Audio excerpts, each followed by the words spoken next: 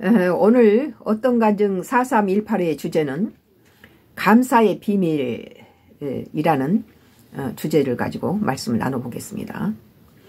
어, 데살로니가 전서 5장 18절에 감사로 제사를 지낸 자가 나를 영화롭게 하도다 라고 말씀하고 계십니다. 다시 또 시편 9장 1절에 내가 전심으로 여호와께 감사하며 죄 모든 기이한 일들을 전하리라 라고 말합니다. 다시 말해서 하나님께서는 감사하는 자를 기뻐하시고 사랑하신다는 것입니다. 감사의 반대는 무엇일까요? 어, 그것은 어, 감사하지 않는 것이겠죠.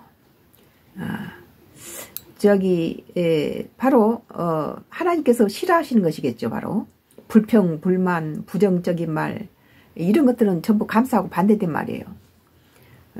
그런데 성경은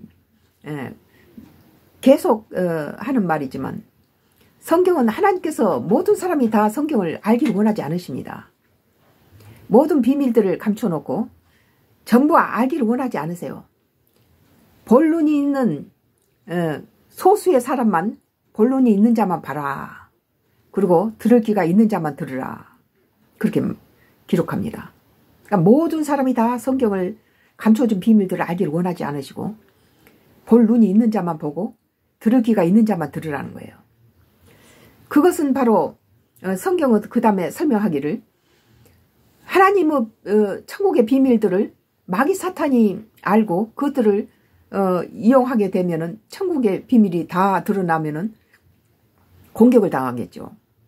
그래서 어, 모, 예수님께서는 모든 성경의 말씀을 비유로 말씀하시고 또 감춰 놓으신 것들은 본론이 있는 자만 보라고 말씀하십니다. 그러면 어, 이, 이 성경은 또 뭐라고 말합니까? 성경을 읽는 데는 어, 인간의 눈으로 보면 감춰진 비밀을 볼 수 없다. 성령님이 함께 하셔야만이 에, 감춰진 비밀을 에, 이해할 수 있다. 이렇게 말합니다. 성경을 이해하는 데는 인간의 눈으로는 불가능하고 성령님이 함께 하셔야만이 가능하다는 거예요. 그래서 우리가 그냥 음, 뭐 성경을 들들들들 외고 들들 읽는 것이 그것이 성경을 아는 것이 아니라는 거예요. 성령님이 함께 하셔서 하나님께서 예수님께서 비유로 말씀하신 그 모든 것들을 우리는 감춰진 것들이 드러나지 않게 해서 예수님께서는 비유로 말씀하신 것입니다. 마귀 사탄 듣지 못하도록 비유로 말씀하세요. 그래서 성경은 어, 예수님께서 수없이 비유로 말씀하시기를 많이 하고 있습니다. 그 이유가 마귀 사탄이 하늘의 비밀을 알, 알까 봐서 비유로 말씀하신 것입니다. 비유로 말씀하신 것을 성령이 임한 사람은 이해를 하게 되죠. 어, 그래서 어, 이 말의 깊은 뜻은 어, 성경 속에 감춰진 비밀들을 모든 사람이 알기를 하나님 원치 않으시고 또 그리고 성경은 성령님의 인도하심 없이는 감춰진 비밀을 알 수 없다는 어, 결론입니다. 얼마 전에 어떤 간증 설교에서 예수님께서 제자들에게 헤로엑스의 누룩과 바리새인의 누룩을 조심하라 그랬을 때 제자들은 성령이 임하지 않았기, 않았기 때문에 아, 두고 온 열두 광주를 만들고 들에서 다, 어, 참, 하나님, 예수님의 설교를 들었던 사람들한테 빵을 나눠주고 다 거둬들인 그 빵바구니를 가져오지 못한 것에 대해서, 어, 걱정을 하죠. 그러니까 예수님의 그 지교한 말은, 어, 그 비유로 말씀하신 말을 어, 이해하지 못하고 빵 걱정을 했다는 거예요. 그래서 예수님께서 제자들의 참, 어, 무능하고, 어, 참그 성령이 임하지 못한 그걸 참 한탄하시죠. 바리새인들이나 헤롯은 예수 그리스도를 부정적으로 비판하고 십자가에 못 박힌 인물들이죠. 아, 그 오늘 어떤 간증 주제는 감사의 비밀입니다. 시편 136장 1절에 여호와께 감사라 그는 선하시며 어, 또그 인자심이 영원함이로다 라고 어, 말씀하십니다. 어떤 사람은 감사할 게 있어야 감사하죠. 라고 감사 조건이 없음을 불, 불평합니다. 감사는 조건으로 하는 게 아니에요. 예. 그런 부정적인 사람에게는 이미 마귀 사탄인 누룩이 점거하고 있어서 감사가 들어갈 자리가 없어요. 불평불만하는 사람을 다 왜 광야에서 어, 하나님이 죽이셨습니까? 그들은 이미 마귀가 점령하고 있기 때문에 성령님이 임할 자리가 없다는 거예요.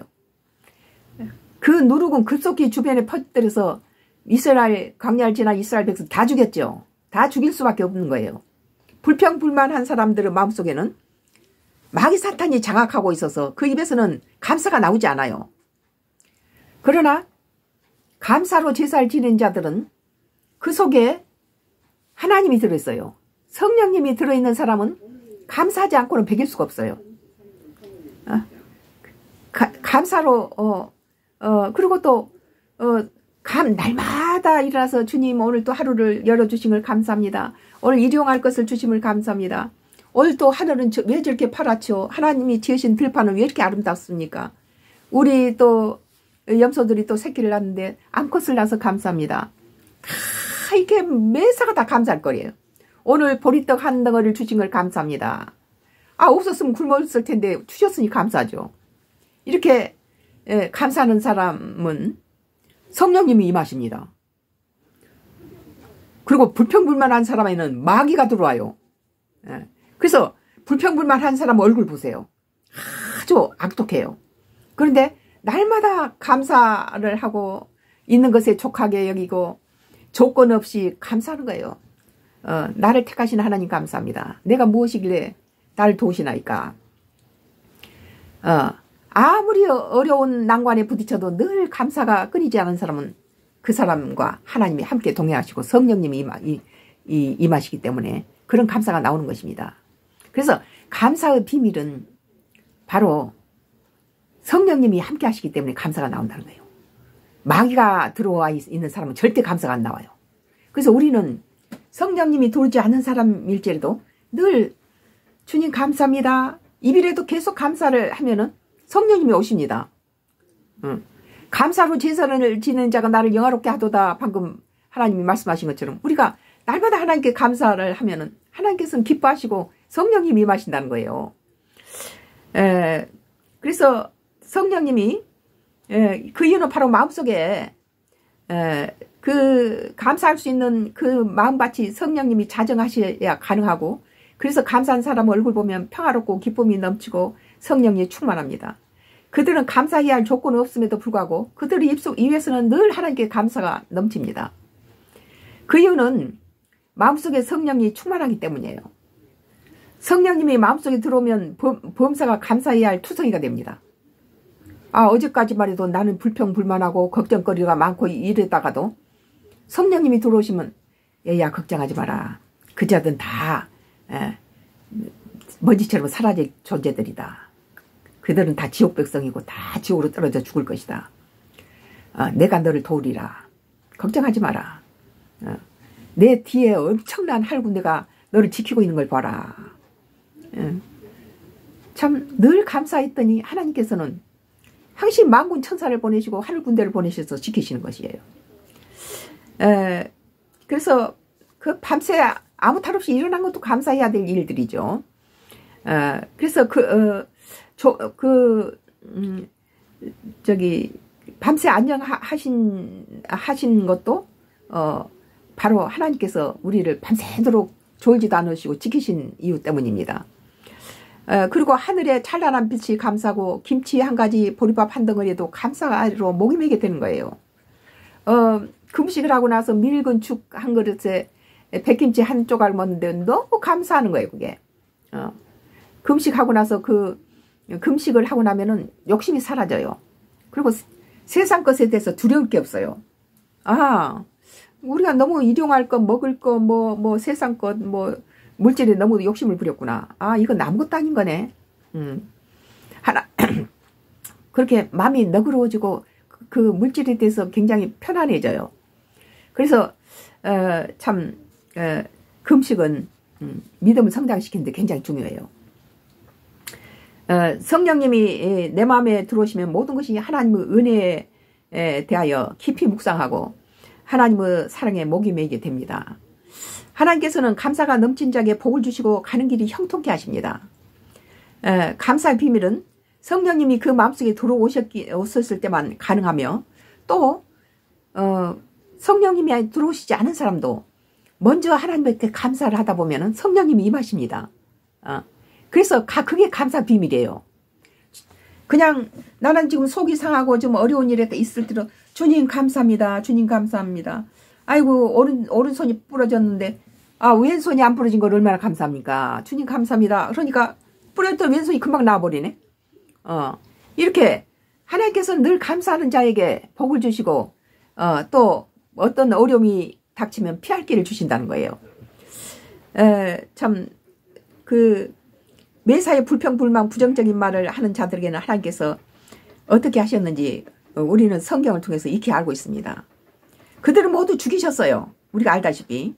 불평불만 하는 사람은 이미 그 마음속에 마귀가 들어와서 지배하고 있기 때문에 살려둘 필요가 없어요. 그것은 누룩처럼 다온 어, 사람들은 전파해서 다 마귀 사탄의 백성이 돼버리니까 마귀 백, 사탄 백성들은 다 지옥으로 떨어져 죽기, 죽을 수밖에 없죠. 에, 그래서 인간 세상에도 똑같은 상황에서 감사하는 사람이 있고 어떤 사람은 불평불만 한 사람이 있어요.